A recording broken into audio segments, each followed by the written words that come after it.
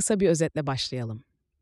Paul Graham'ın 2010'da yazdığı bu makale, başarılı bir startup fikrinin nasıl bulunacağı üzerine.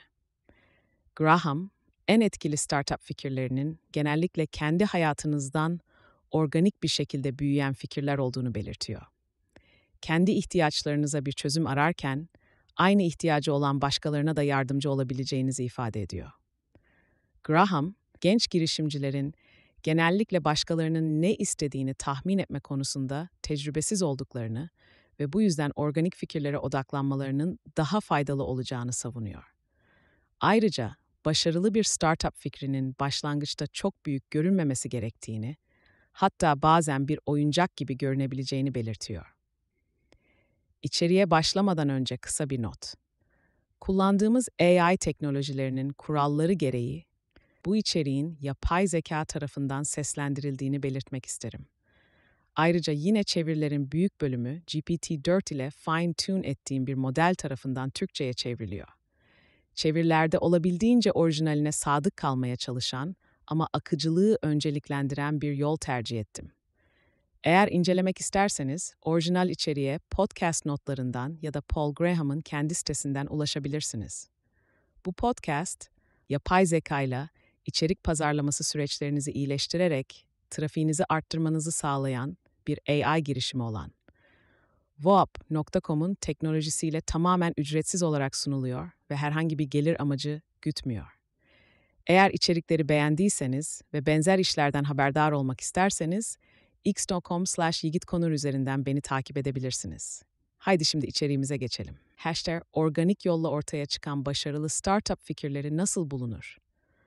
Orijinal dilindeki başlığı Organic Startup Ideas yayınlanma tarihi Nisan 2010. Girişimcilik fikirleri bulmanın en iyi yolu kendine şunu sormak.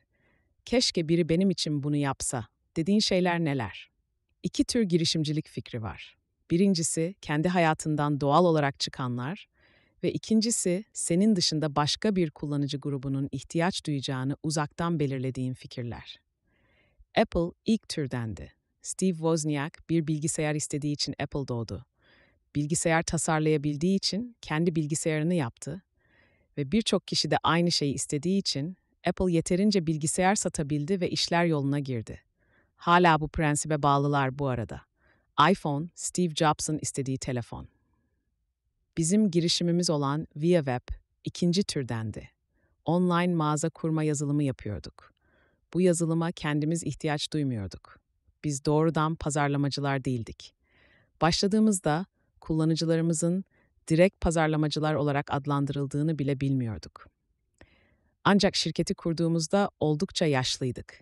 Ben 30, Robert Morris 29 yaşındaydı. Bu yüzden kullanıcıların bu tür bir yazılıma ihtiyaç duyacağını öngörebiliyorduk.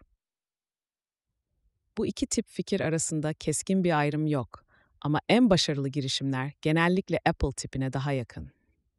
Bill Gates, Altair için ilk Basic yorumlayıcısını yazarken, Larry ve Sergey ilk Google versiyonlarını yazdıklarında kendilerinin de kullanacağı bir şey yazıyorlardı. Organik fikirler genellikle uydurulan türden daha tercih edilir ama özellikle kurucular gençken bu durum daha belirgindir. Başkalarının ne isteyeceğini öngörmek deneyim gerektirir. Y Combinator'da gördüğümüz en kötü fikirler genç kuruculardan geliyor ve genellikle başkalarının isteyeceği şeyleri yapmaya çalışıyorlar. Eğer bir girişim kurmak istiyorsan ve henüz ne yapacağını bilmiyorsan, ilk olarak organik fikirlere odaklanmanı öneririm. Günlük hayatında neler eksik ya da bozuk? Bazen bu soruyu sorduğunda hemen yanıtlar alabilirsin. Bill Gates için Altair'in sadece makine diliyle programlanabiliyor olması açıkça bozuk bir durum olmalıydı. Bozuklukları görmek için kendini biraz dışarıdan görmeye ihtiyaç duyabilirsin. Çünkü genellikle ona alışırsın ve onu normalleştirirsin. Ama emin olabilirsin ki bozukluklar var. Hepimizin burnunun dibinde harika fikirler var. 2004 yılında Harvard öğrencilerinin hala kağıt üzerinde basılı bir Facebook kullanıyor olmaları saçmaydı. Kesinlikle bu tür bir şeyin çevrimiçi olması gerekiyordu.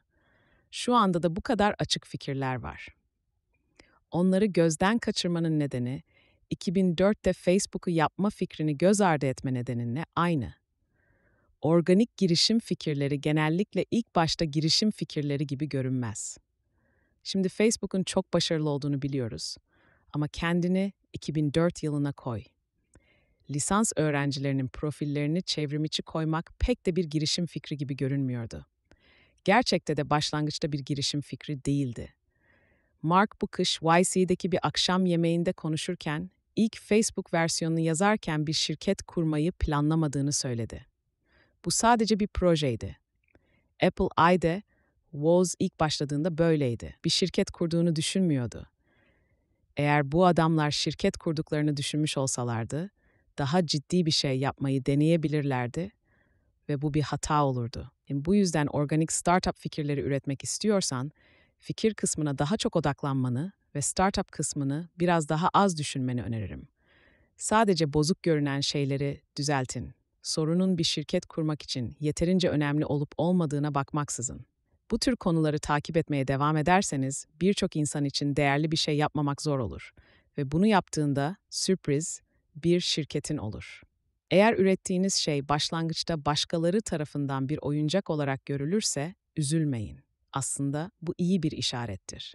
Bu muhtemelen herkesin bu fikri göz ardı etme nedenidir. İlk mikro bilgisayarlar oyuncak olarak görülmüştü ve ilk uçaklar ve ilk arabalar da öyleydi. Bu noktada kullanıcıların sevdiği ama bizim forum trollerinin bir oyuncak olarak görmezden gelebileceği bir şeyle bize gelen biri olursa yatırım yapma olasılığımız artar. Genç kurucular uydurma fikirleri bulma konusunda bir dezavantaja sahipken, organik fikirler konusunda en iyi kaynağı oluştururlar. Çünkü teknolojinin ön saflarındalar. En son teknolojileri kullanırlar. Ne kullanacaklarına yeni karar verdiler. Öyleyse neden yapmasınlar ki? Ve en son teknolojileri kullandıkları için değerli türdeki düzeltilebilir bozuklukları ilk keşfeden kişiler konumundadırlar. Henüz düzeltilebilir hale yeni gelmiş bir ihtiyacın karşılanmamasından daha değerli bir şey yoktur. Birçok kişi için bozulan bir şeyi düzeltebiliyorsan bir altın madeni bulmuşsunuz demektir. Gerçek bir altın madeni gibi altını çıkarabilmek için hala çok çalışmanız gerekecek.